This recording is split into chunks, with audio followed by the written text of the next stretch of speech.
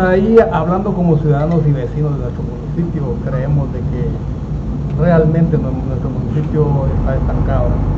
Eh, nosotros no podemos decir que disfrutamos de, de algo que realmente, digamos, bueno, gracias a, nuestras autoridades que pusieron el Congreso y el presidente Colón, porque estamos completamente estancados no sé realmente qué sería de los fondos del 12% constitucional y IVA Solo si, usted se recorre la ruta solo miramos uh, obras de infraestructura, pero solo dice Consejo de Desarrollo Gobierno de Guatemala, Departamento del Petén.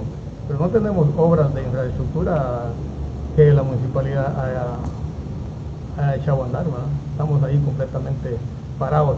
Lo que se dice que el alcalde es el mejor alcalde ejecutor del departamento del Petén es falso.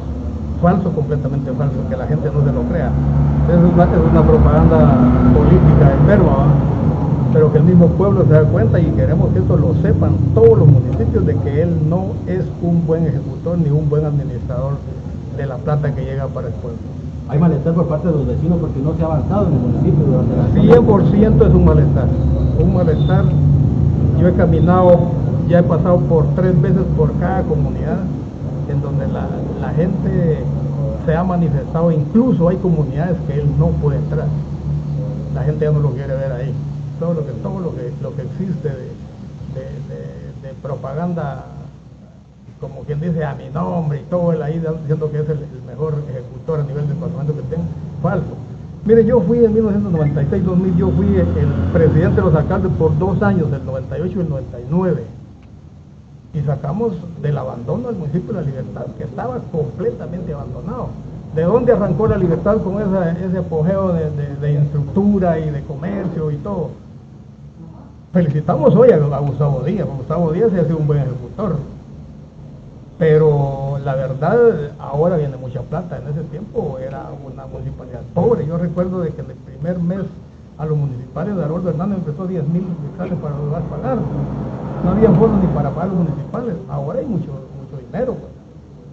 y el alcalde que no trabaja, bueno es merecido que no le den el voto para una, una, reintegrarse de nuevo como candidato como, alcalde. de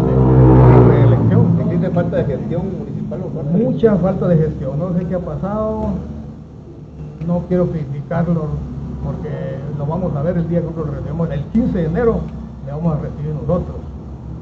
vamos a recibir.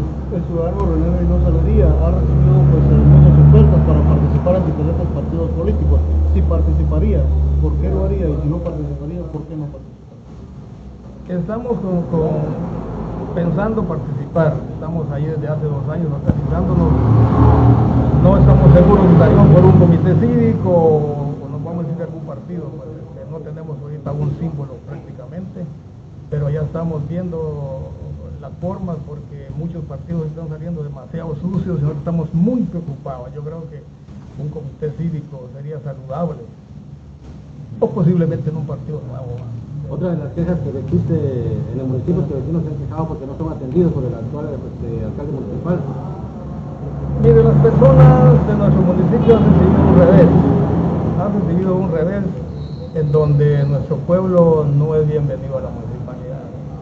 Y ellos lo que dicen, bueno, no nos puso el pueblo. El problema es que se está manejando el dinero del pueblo. Entonces, ¿Qué tiene que dar un alcalde? Obras de infraestructura, obras sociales, ponerle buena cara a la gente. ¿verdad?